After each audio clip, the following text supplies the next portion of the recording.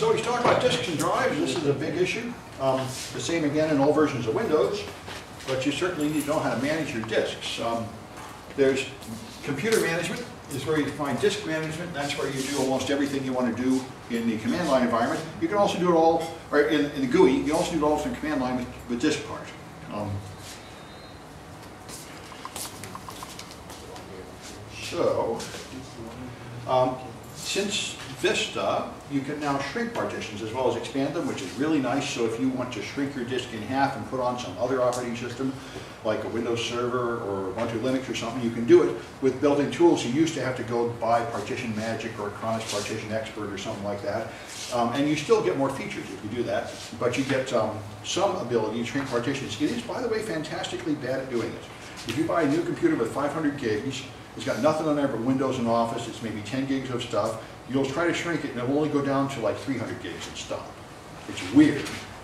And um, uh, there's some tricks, but it's just it's very strange and stubborn. It's, if you get Partition Expert or Partition Man, um, or Partition Magic, you can totally shrink it down as much as you ought to. The Windows tool is very odd, but it is better than nothing, and you can't argue with the price.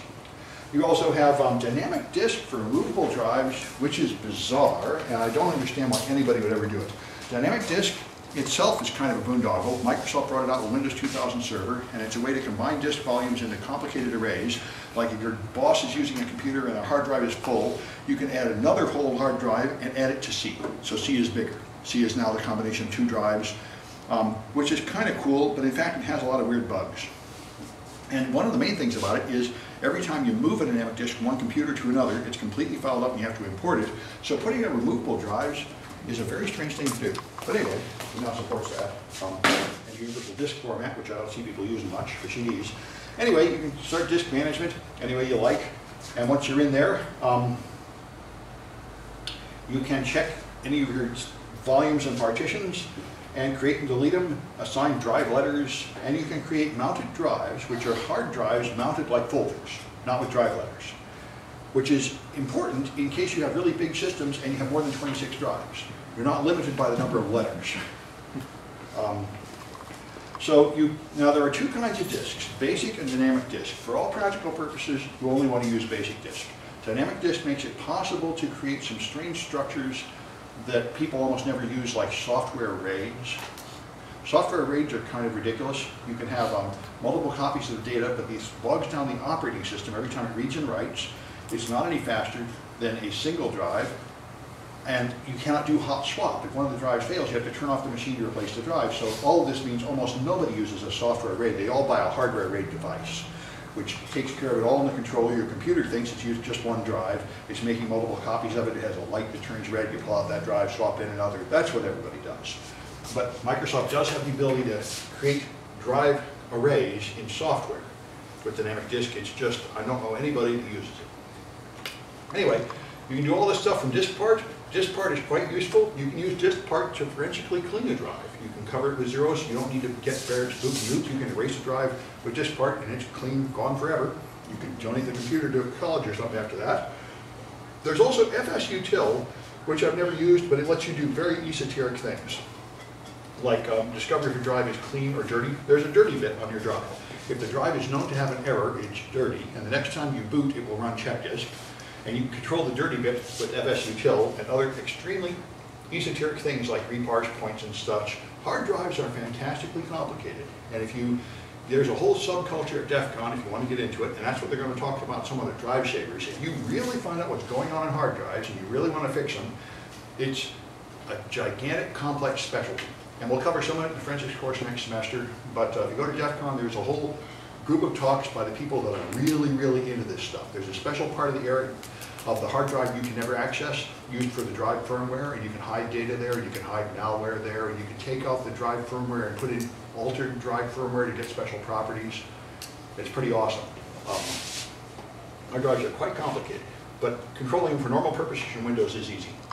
Um, all right, so you, the command prompt, of course, is important for everything. Microsoft made a real commitment ever since XP to make sure everything can be done from the command prompt, and now that they have uh, PowerShell, there's often a lot of things you can do from the command prompt that you cannot do from the GUI, which is the way it ought to be. That's the way Unix is. Usually command prompt is the most powerful way to control any machine. And it's important because you want to be able to script everything. You do it on one machine and you want to have some kind of script and do it to all 1,000 of your machines at your enterprise, you want it all to be done with a script. And so you can do that. Um, Also, if you use server core, server core has no GUI, everything has to be done at the command line. You know, Microsoft has for uh, 10 or 15 years now understood that real server administrators want everything to be done in text-only mode for the same reason Unix is done that way, because that is the best way to really control a machine if you're serious. The mouse is basically just a crutch, and uh, they understand that. So everything's available in the command line if you want. So here's basic concepts. A volume is a disk or part of a disk that has a drive letter. That's now ready for use. A mounted drive is a disk or part of a disk that is assigned like a folder. Somewhere you can have C, desktop, and then instead of documents, you can have a drive there. It'll look a little different, but it can be referred to the same way. So we, before you can use a disk, you have to format it. Now formatting means you put reference marks on the disk so that the um, file system is available, and you have to choose the file system at this point. Almost everybody's using NTFS, the one Microsoft brought out in 1993. There are different versions of NTFS, but they're all so similar, you don't even notice when you're on a different version. And um, NTFS has all the features for modern computers. Like I mentioned before, Microsoft was going to create the replacement for NTFS, WinFS. They worked on it for a long time and finally just abandoned it. And the next drive format after this is um, ReFS, Resilient File System, which is intended for large arrays. And Microsoft has said that RAIDs are now obsolete, which is probably correct because drives have gotten so big if you have got a defect on one drive in a RAID, you throw away the whole drive and put in another one, and that's kind of stupid because drives are so big they have little defects all the time. So a resilient file system puts little stripes of data on the drive, and if one goes bad, it marks it bad, just uses another one. So it is resilient, and then a drive can fail, and you don't lose data, but it doesn't have the wasteful and slow process of throwing away a whole drive every time you have an error, which is what RAIDs do. Anyway, uh, that's mainly intended for servers. So for all practical purposes, we're all using NTFS. There was an older system called FAT, used by Windows 95, Windows 98, still used on floppy disks and on thumb drives often. Um, but compact disks usually use CDFS or perhaps UD, UF, UDF. But NTFS is the main one. Now the other one, which is a little hard to grasp, is the difference between a basic disk and a dynamic disk. Um, a basic disk uses a partition structure that is extremely old. I think it comes from the 70s. Um, and it is very, very simple. There is a partition table on the disk, and the partition table has only a small amount of room. I'm just trying to find a good place to stash this thing. All right. Um, so the partition table only has enough room to store information about four partitions and it cannot be expanded. It's four records, each 16 bytes long. And all you have room for is a starting cluster number, a number of clusters and a few bytes and a couple other facts. So you can have a total of four partitions, that's it. But you can uh, define one of them to be an extended partition, which means there's going to be a second partition table here which can split it up further. So in fact, you can have as many pieces of this drive as you want to. Now you might wonder why you want all these pieces of your drive. The original reason was because in FAT, you get FAT16 can only go up to a two gigabyte volume. And so when drives came out that were bigger than that, you had to cut them up into C, D, and E, and F for your Windows 98 system, because um, you couldn't have more than two gigs at a time. That's all over with NTFS and for that matter FAT32, but it's still convenient to cut them up, for example, if you have multi-boots, so an XP on one and Windows 7 on another, it's best to put them on a different partition. And it's also a very good idea to put your user data on one partition separate from the operating system because it makes it easy to back them up and, and such. So um, it may not be that most, of course, 90% of home users just have one volume called C that's everything. Operating system, all their documents, use the whole drive, make one partition, and that's the default install the most common one. Anyway, um, So how many can Yeah. you have on that four? You've got this one had four, yeah, That's this one it? had four. Yeah, one of my machines I had when I first put on Vista. Um, And so dynamic disk lets you have more complicated structures. You can have a simple volume, which is just the same as a partition for all practical purposes. The, the fundamental difference, by the way, between dynamic basic disk and dynamic disk is that basic disk has a partition table at the start of the disk, which I described, it's four times 16 bytes. Dynamic disk still has a partition table, but it's not used. It's just a useless appendix. It takes a one megabyte part at the end of the drive, and by the way, if your drive is completely allocated, you cannot convert it to dynamic. You have to have one megabyte free at the end. So a common Microsoft recommendation is when you're assigning partitions, always leave one megabyte free at the end, so you can convert it to dynamic if you want to. To dynamic disk, it takes a one megabyte database, which stores all the information about these partitions, and therefore, it is essentially unlimited. You can have as many partitions as you want, it's no way limited just four. And, and then if you have multiple physical drives, that one megabyte partition is synchronized, so each one of them contains all the information about all the drives in a dynamic disk array. And that's why if you bring in a disk from outside, like a USB drive, it will be foreign, and it will have to be imported, which replaces that one megabyte, which updates the one megabyte database to match all the others before you can use it in a dynamic array. And this is all intended to make things like RAIDs. Um, Windows 7 no longer supports all five dynamic disk types, but only these three. A simple volume is just a bunch of contiguous blocks on one drive. It's the same thing as what you call a partition, just a region of a drive. You can have a spanned volume, which will confine space from non-contiguous blocks of a disk or from one disk and a separate physical disk. Because this is probably the main reason anybody would use it. Uh, because, for example, I have Vista installed here on a 34 gig partition. Well, I might very well find, and you will find, uh, Microsoft operating system since Vista swell by one gigabyte per month on average. Because the updates are never removed, they keep a steady backup, they go in the WinSxS folder, which you cannot clean off. So you can install this and it will seem fine, but within about a year it will be full. And then you'll wish it was on something bigger. Now what you ought to do is make an image backup, repartition your drive or put it in another drive and restore. That's the right way to put it in a bigger volume. But if for some reason you don't want to do that, and you want to add to this, you could go to dynamic disk and then take some gigs over here and add them in.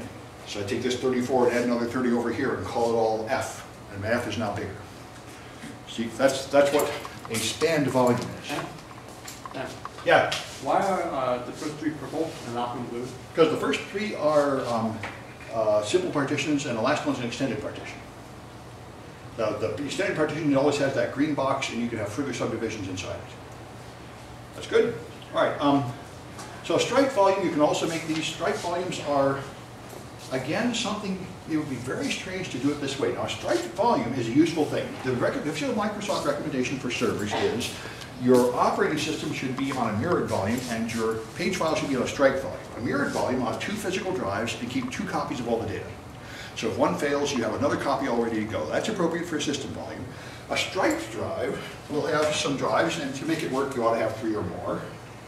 Uh, If you really have some number of physical drives and you have as many controllers as you have drives, then a stripe will write, I think it's 64 kilobytes, a small stripe of data here, and next stripe of data here, next stripe of data here, next stripe here, here, and here, here, here, and here. And the reason it does it that way is because it's faster. All three drives are now spinning, they're all writing at once, they're all reading at once. It reads and writes faster. It is more prone to failure. There is no extra copies. If any one of these drives fails, the files are all unreadable. Um, you've clearly lost holes out of the middle of all the files, they won't open anymore. So this increases the chance of you losing data, but it makes it faster. So it's appropriate for the page file. Remember, the page file is data that was supposed to be in RAM. RAM is extremely fragile. If the power fails for an instant, you lose it all. So evidently you were willing to accept a high risk of failure for the sake of speed. So this array, this striped array is the natural thing for the page file. Anyway, but if you did it with dynamic disk in software, you wouldn't get any of these benefits because the processor can only be writing to one at a time. So I really don't know why they even have software stripe RAIDs, and what you'd want is a hardware stripe. Anyway, um, but that's the game. So that's what a dynamic disk is for. Um, all right, there are some other kinds of disks, and these are becoming popular, the GPT disks. Um, see, the master boot record is the record that's 512 byte in the first sector of every disk that's used to start the machine, and it is, has the partition table, and it is really, really old, like I think more than 30 years old, and has a lot of limitations that really aren't appropriate anymore. So you can ignore it completely, and this is what Macs do. You know, you have your G GUID partition table. This is the replacement one. And we have some machines set up in the lab with GPT on them to try it out. And if you buy a modern um, laptop, like with Windows 8 on it, it's typically GPT. I was surprised. I've got a new machine, it had like five partitions on it right from the start. You can only have four basic, it's a GPT disk. So these things are out there. Um, and of course, it's the more modern um, system. You can have 128 partitions, you can have 18 million terabytes in each partition. You know, it's the next system, much bigger and nicer. Um, it only comes on 64-bit Windows until Macs use it. Um, it's the wave of the future, finally updating this very old basic disk system. But a lot of machines are still using the basic disk, probably the majority. Of them. Um, all right, now there's another very common focus of confusion, which is the active partition. Um, The active partition means, do I have a picture of a multi-drive array here? I don't have it up. All right. Look, The active partition works like this. Um, It only makes any difference if you have multiple physical hard drives. So suppose I have three hard drives, disk zero, one, and two, and then I'll, maybe I'll make this C, and this D, and this E, and this F, and this G, and this whole thing is H. You can do that, they can be any size you want. Okay, now, the point is, when you first turn on the power, the BIOS will hunt for your hard drive, and then it will hunt for an operating system, and it will do that by running the master boot record. Every single drive has an MBR at the start. The first 512 byte sector on every drive is the master boot record. So your computer now has a problem. It doesn't know which one of these master boot records to use. So what you do is you mark one partition the active partition. And all that, and it could just as well be D, it would be exactly the same. All the active partition does is tell it which physical drive to boot from.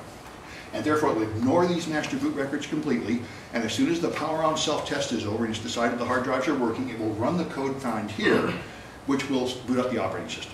That's, that's what the active partition is. Um, If you don't mark a partition active, it can't be used to start your machine. So you could, for, by the way, even though you use this master boot record, that does not mean that this is the operating system. It will present you with an operating system menu. The master boot record will then ask you which one you want to boot up, and you might boot up down here. This could very well be the system volume down here, but the master boot record here is what's used to start it. Okay? That's what the active partition is. Anyway, of course, for home users, they only have one drive, they only have one partition. It's of course active C. Um, so there are three partitions. The active partition I just described, the system and boot partitions are the others, and they're used in that order. So first, the active partition is used just to start the machine with the master boot record. Then the system partition is what contains the boot menu, which asks you which operating system you want to run, and the boot partition is the one that actually contains the operating system. So it's easy to remember because it's backwards. The system file contains, system partition contains the boot files, and the boot files contain C Windows System. Everything is usually backwards in the world of Microsoft, and it's not entirely their fault because they inherited this stuff from really, really old standards from IBM. Anyway, um, so that's the process when your machine starts. I got a few iClickers about that.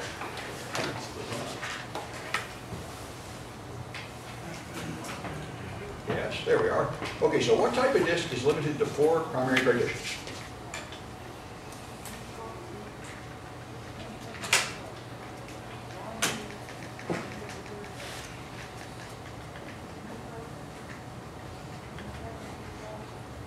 Quit at 30.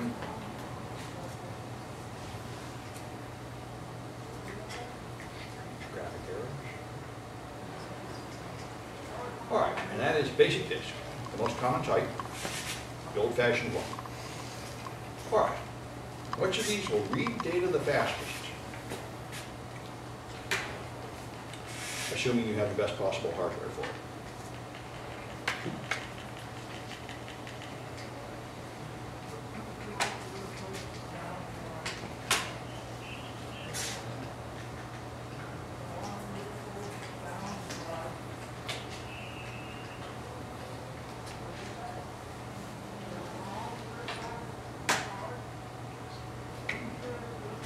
All right, so that's stripe volumes. That's what they're for. Although I greatly doubt that Microsoft software striping will actually have that effect, but maybe it will in a certain condition, I'm not sure. All right, so if I want to store data on a volume without a drive letter, what feature lets me do that?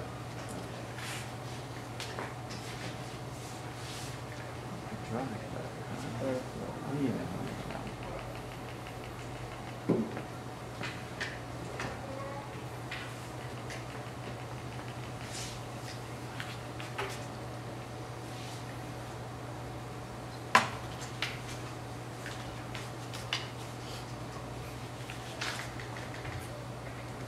that's mounted drives, okay?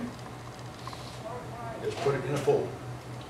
All right, where is the System 32 folder?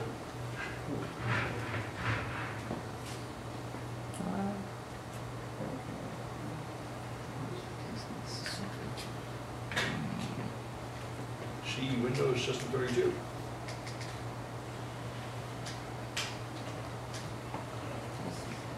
Yes.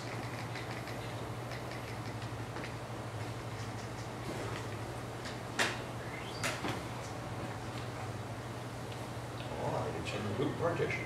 Ah. Imagine, it would be too easy if it was in the system partition.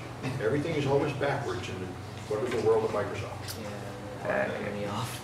Um, All right, so which of these will combine two physical disks into a single volume? If I just want a bigger F, I'm gonna add another whole hard drive and add it to F.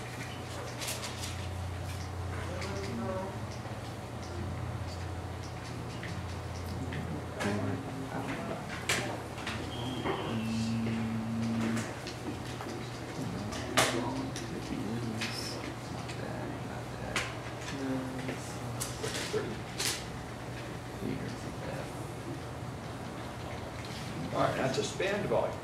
That's what it's called. Extended partitions do not let you do that. Extended partition lets you subdivide it into more pieces. It's the opposite. Um, It's a span volume, which is, by the way, the most likely reason you would actually use it is, although I should warn you, um, last time I tried it, which was back in XP, you could not boot anything on a dynamic disk couldn't put your operating system on it. It was very strange. Just kept happening to students in the lab. I had them doing hardware, doing this project, ready to make another partition, and sometimes they would make a mistake and make a fifth partition, and it would automatically convert to dynamic, and then none of the operating systems on that drive would boot anymore, and there's no way to fix it. It's very annoying. I hope they finally fixed it, but that's why the whole dynamic disk thing seems to me like one of these Microsoft things that never really quite made it out of beta. And they didn't even make it consistent with their own bootloader. So it seems like I don't know what they thought it was good for, but it never really became popular. Anyway, um, all right, so you've got a new hard disk. Um, so you're gonna install Windows on a disk, you can, when you're first installing, you can say, just put it in the unallocated space, and it will automatically format it and partition it. Now, it might use, it will use all free space, and it will no longer just make one partition, of course, it will make that 100 megabyte partition in front, and then use all the rest for C. That 100 megabyte partition in front contains the bootloader, um, and it contains the information if you later decide to encrypt it with BitLocker. It Contains the, the stub system that starts it out. So if you want to make a new simple volume, you can do that in drive management. If you have extra space and a basic disk, if you just have extra space you're not using, you can make a new simple volume in that space. And then you can just choose the size, drive letter, and format, make another volume. Um, You, here's simple volumes. Simple volumes are just blocks of contiguous space, so from this um, sector on the disk going to that sector is C, this part is D, that whole disk is E, that's perfectly fine. And you can make a simple volume on a basic disk or a dynamic disk. Um, If you want to format it, you can do that here, just right-click and format it, choose your uh, file system and allocation size. The file system, you almost always want NTFS, although you can make fat partitions if you want to, it's just they're out of date and not very useful. And you can choose the allocation unit size, which is the smallest possible amount of disk that can be given a name. So if you store a notepad file with only a few hundred letters in it, it will still use 4,096 bytes on the file, because that's the smallest amount of disk space that can be allocated. Um, If you can make that bigger, then your disk will, you find files faster, because the, uh, it'll be more coarsely grained, but it will waste more space. So usually the default is fine, but you can adjust the allocation unit size if you want to.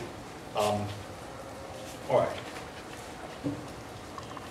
So there's a very, very common misconception. Well, I remember when I first started teaching here, the, the teacher, we had this, everybody turn their homework on floppy disk. The other teacher said, well, I have floppy disks, I just reformat them, and then I give them to students the next semester. So I give a disk, students a floppy disk that has been used by a previous student with complete safety. And that is not true at all. Formatting does absolutely nothing. All formatting does is mark the sectors available. It doesn't remove any of the data until you write new data on top of it. It's a very common misconception of formatting drive erases data, which is fed by the Microsoft box that will pop up saying, this data will be gone you can't retrieve it. Well, that means is there's nothing in Windows that will bring it back, but it's still there. Um, so if you really want to erase data, you can use format slash P according to your book, although in my tests I was unable to successfully erase drives with it, or cipher W, this is what the iPhone does. The iPhone, after 4S, iPhones are encrypted all the time before you ever turn them on, and when you say reset to factory defaults, it erases the key. This is a fantastically good system, and it works in practice. There was a test where forensic scientists bought 100 used iPhones on eBay, and they tried to recover data from them, they were unable to recover anything. That is the way to do it. And you can do that, for example, if with, um, that's supposed to be Windows 8.1 default. That's, I've checked it. It's supposedly Windows 8.1 will now have BitLocker on by default. So your disk will just be encrypted all the time, and then when you erase the key, you've really protected your data. This is a very good idea. But and you can do it with Cipher. You can use Cipher will do NTFS encryption for a partition, and then you can delete the key. Um, that's one other way to go. Um, all right, I personally like to use disk part and then clean all. That covers the whole disk with zeros. That's another forensically sound erasure technique. Anyway, um, right, you normally want NTFS, FAT and FAT32 are pretty much out of date. If you have a multi-boot with Windows 98, who in the world would do that? But anyway, if you did, you might want a FAT for that reason. Uh, removable devices often use FAT. This has turned out to be a problem for a lot of my students. They will get a big flash thumb drive, like 8 gigs or 16 gigs. They formatted NTFS. Now you've got a problem because NTFS has permissions. So when you move it to another machine, it's owned by the administrator on the previous machine, and it won't let you have full control of the files. It's very annoying.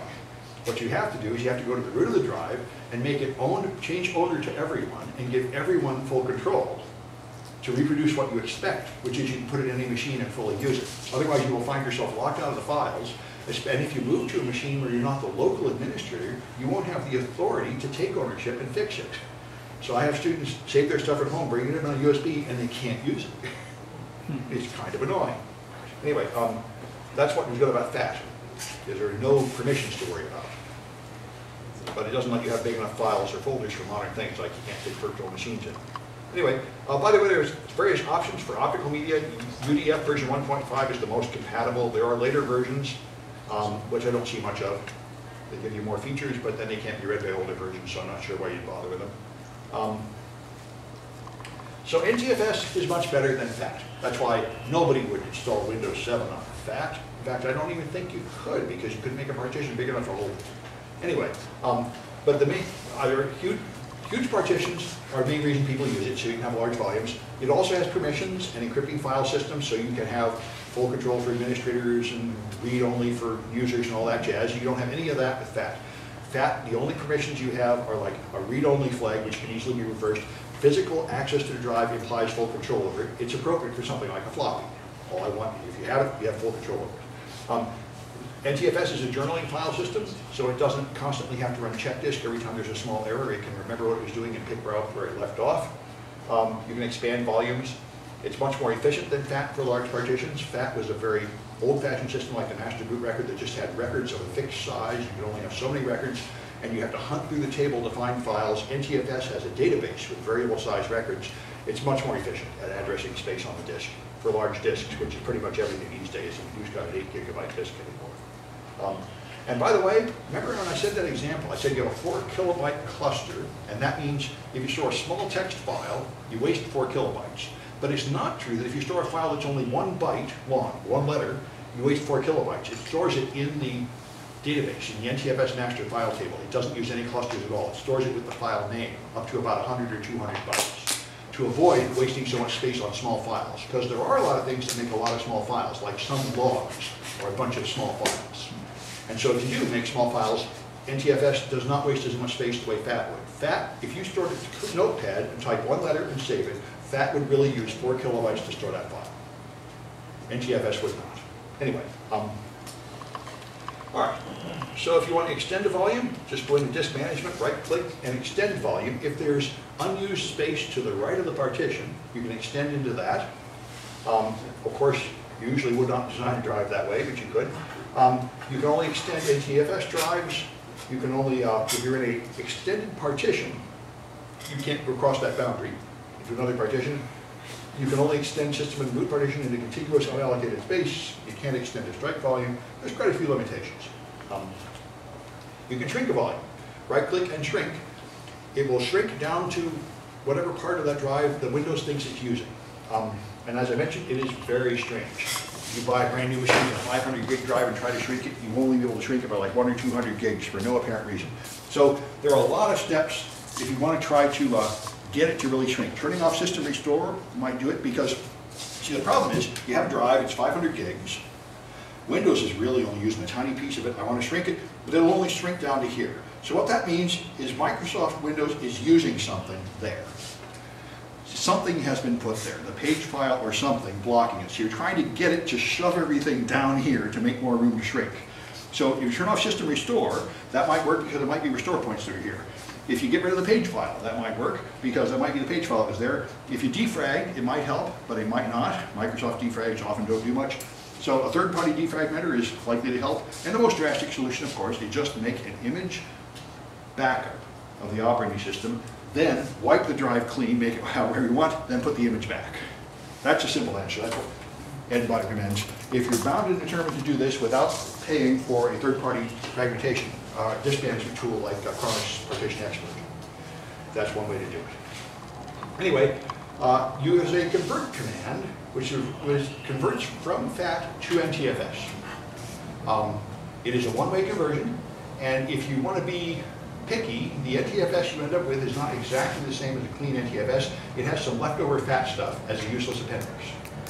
Um, But in practice, it works. This was there for people to upgrade from Windows 98 to Windows 2000. I don't know why you do it these days, but you can convert to NTFS. By the way, I, um, I found this helpful. I did a research project about a year ago on a uh, forensic tool called, um, I forget the name of it, there's Encase, there's a free forensic tool, which, um, and it fails on drives that have been converted this way. It was very interesting, it gives you the wrong answers, which is really pretty bad because there's people in prison based on the result of those forensic tools. It's not good when they give you the wrong answer. Anyway, um, but I think he passed it after I told her about that. So you can change volume labels. You can just right click and rename your drive to put this alphabetical label on it any way you like. Um, you can change drive letters right here. Change drive letters. One very, very annoying thing, I think I've told you before, but it's worth mentioning again, is that drive letters are not attached to the drive at all. Drive letters depend on how you install the operating system. So if you have this machine, C, D, E, F, G, and H, and I decide to install something on H, I'm going to wipe it clean and install something on H. If I start an operating system here, like Windows Vista, then I put in the Windows 7 DVD and run it from the running operating system and install it down here. It will install it on H, and when I boot here, it will call it H. But if I put in the, if turn off the machine, put in the CD and boot from the CD, and install Windows 7 here, then, when I, and say I had Vista here, and Windows 7 down there, then when I boot to Vista, this drive will be called H, and that will be called C. When I boot to Windows 7, this drive will be called C. The letters are assigned during boot up. They are not really written on the drive anywhere. You can't trust the letters. It's very rude. Anyway, um, all right, that's the game there. Uh, you can change drive letters, but you can't do it for the boot volume, system volume, or a volume with a page file. You can map a volume to a folder, which we talked about. Um, so one thing you could do is you could add another drive and put it in C programs. Then copy over the contents of C programs, and suddenly they'd have more room on their C drive. Um, That's one possible way to do it. You can mount it in a folder. You can install Windows, not just from a CD, but of course from a USB or a flash disk. Um, That's what you have to do these days with modern devices, netbooks that don't have any optical drive. Um, It's pretty nice too, because then you can modify the contents. You can, for example, take away its information about which version you're installing and install a different version. In this lab, we did that with VMware, where you want to install Ultimate from your uh, non-Ultimate DVD. If you put it on a USB drive, you can just tell it to be Ultimate. Install any version you want. Of course, after 30 days, it'll start whining about not having a product key, but um, it'll work. So you go, you can go right click on a drive and go to properties, and this will tell you what file format it is, um, how full it is, and so on. It's pretty nice. Computer management shows you the status up here. So here I've got raw BitLocker encrypted. Here I've got an NTFS volume.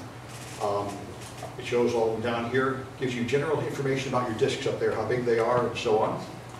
Um, so the disk status online is good. Offline is what a dynamic disk will say if it has errors. Offline is a dynamic disk that's unavailable. And foreign is like, say, a dynamic disk that was initialized on a different machine. And now when it's brought in, it observes that the information in the one megabyte dynamic disk database does not agree with the disks I'm looking at, and it has to go through an import process to synchronize. That's why moving dynamic disks around is very strange. I don't know why they expect you to do that. Unreadable is obviously a damaged drive. Missing is a drive that is expected to be there because you have a dynamic array, and the working dynamic drives have that one megabyte, and they say, wait, there ought to be a third drive here, why is it not there? And marks it missing. I have information about a third drive, but somehow it's not there.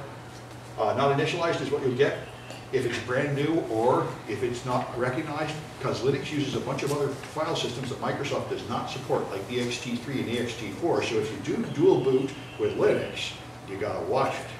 I gave up dual booting with Linux years ago, because I had so many problems. Every time you'd upgrade one OS, it'd kill the other. You really have to be an expert at messing with grub, fixing all the boot error problems.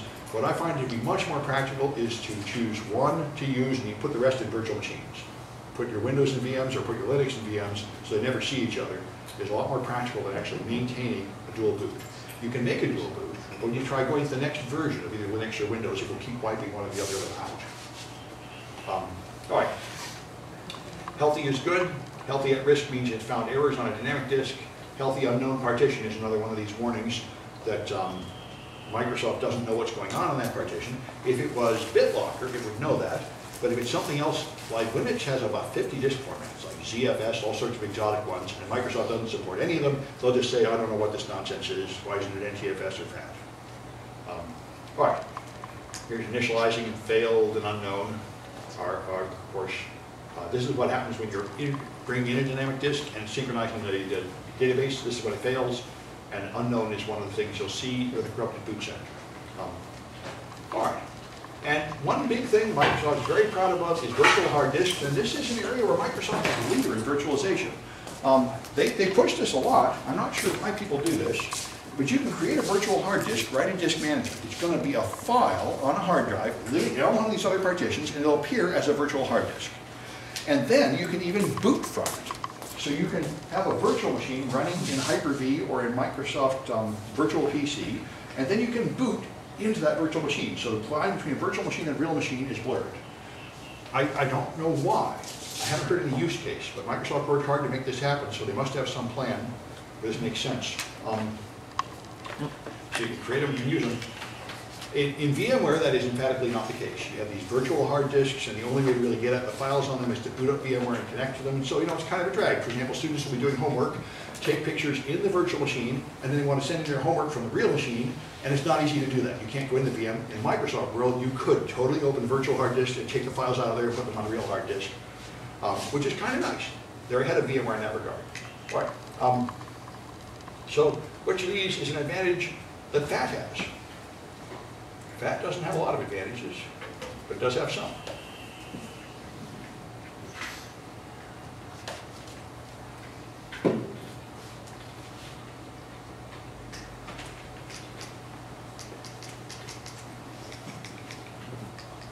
FAT, by the way, stands for File Allocation Table. NTFS is New Technology File System. It's compatible with really old stuff, that's the only thing good about it. All right. um, All right, Uh, which one of these, what, you put 128 partitions on a basic disk?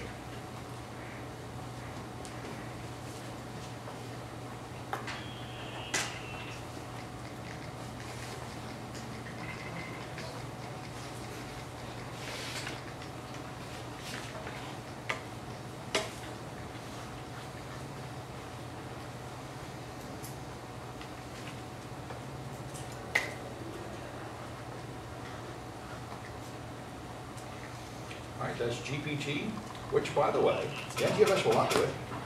GPT does it.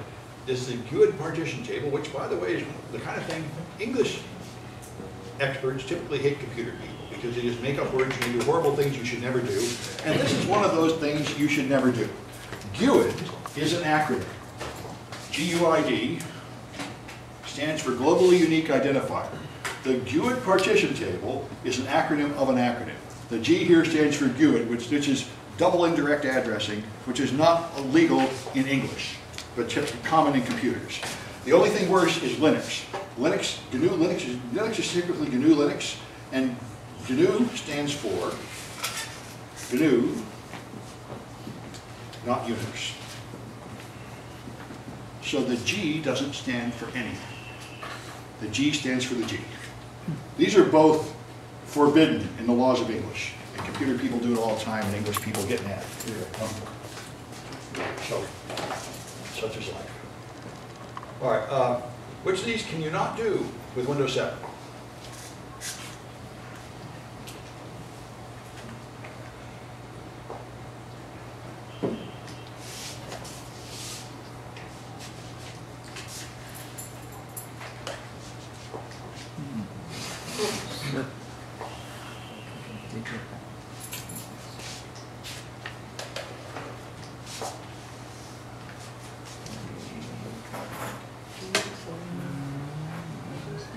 All right, that's, Microsoft will tell you, when you format a disk, you can't get that data back. And what they mean is there's nothing in Windows that will get that data back. There are other tools that will. though. Um, and by the way, if you just want to recover data, which you can get Recuva, is a free download that will do it. There's a bunch of others. Used to be something called Norton Undelete, but I think it's not free. Recuva is free. And on the Mac, it's Disk Drill that's free. These will both get your stuff back. All right, um, so, that's for next time. Let's see who got the most right. And I'll go up to the lab if anybody wants help on projects.